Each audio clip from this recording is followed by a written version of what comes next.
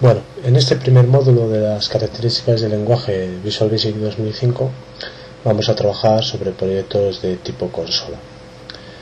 Tanto si hacemos clic en la opción de crear proyecto en la página de inicio del entorno como si nos vamos a la opción de archivo nuevo proyecto, veis que se nos presentan una serie opciones, eh, aplicaciones para Windows, biblioteca de clases o aplicación de consola, que como he comentado eh, será la aplicación, la solución con la que vamos a trabajar en este primer módulo.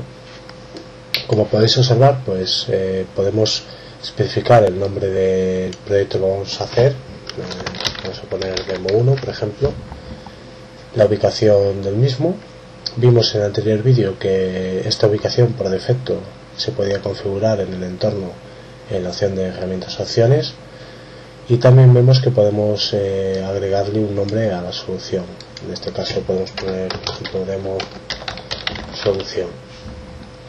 Bien, ahora lo único que nos queda es hacer clic en aceptar y veis como el entorno pues nos generará lo necesario para comenzar a trabajar en el mismo.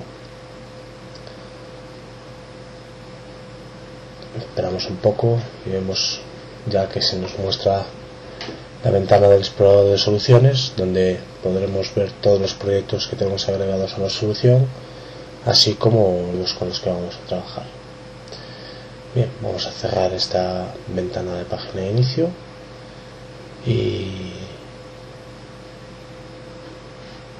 veis que ya nos entra en el método main, que es el punto de entrada a la en el que podemos empezar a escribir nuestro código. En el siguiente vídeo haremos una introducción a los tipos predefinidos en Visual Basic 2005 y explicaremos un poco sus características y cómo usarlos.